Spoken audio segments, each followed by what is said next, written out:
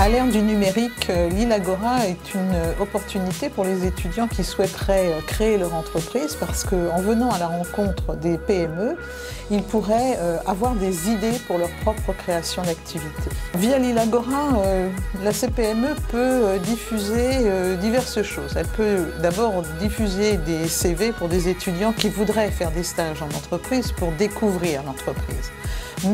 Elle pourrait aussi être un vecteur de diffusion d'informations concernant l'université et les recherches universitaires vers les entreprises. Parce qu'il ne faut pas oublier qu'à la naissance du cookies, il y avait quand même un calcul mathématique.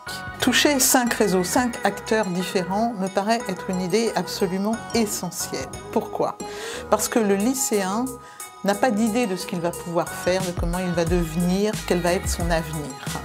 L'étudiant, une fois qu'il est sorti de l'université, s'il n'a pas de réseau, s'il n'a pas de contact avec ses anciens camarades ou avec son université, il se trouve seul dans une jungle d'entreprise.